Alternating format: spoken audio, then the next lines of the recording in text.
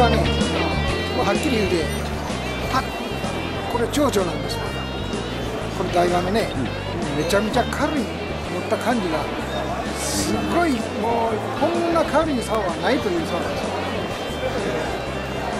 これです。これ9メーターで200グラムです。最高やこれなんていう商品ですか？これはねあのスペシャル A です銀泳競技いやあ銀泳競あス銀泳競技のスペシャル A, A というんですこれはとにかくめちゃくちゃ売れるいうかね皆に人気の竿です白い。かっこいいですねかっこいいですよあれかっこいい。竿ですほんでね、はいその竿はとにかくとして次これですよ。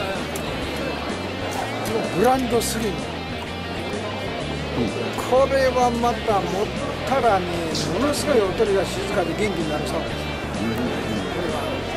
もう200匹釣るのはこれしかない初心者でもめちゃくちゃ鮎が釣れるもうスーッとこう行くんですね、高級あの乗用車の感じでおとりが引けるこれはね、まあ、これ2つは小型と中型の竿ですけど。こと一旦鮎が大きくなるとこれはどっちなんですこれこれメガトルクですよ。これは赤い棒ですね。赤い棒。鬼が持ったら強い武器になるめちゃくちゃこれはねパワー。あるこれはびっくりしますよ。あの300グラムがあるのにいけるね